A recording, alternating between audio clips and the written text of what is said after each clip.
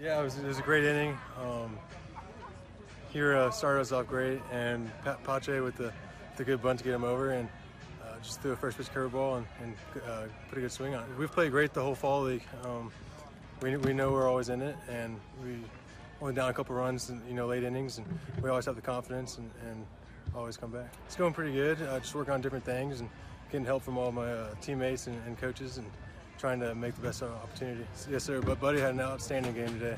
Um, it's, it's, great to be with a you know a good couple guys and all the Padres guys that are here, and, and it's fun fun to be around, and you know it's been a lot, a lot of fun.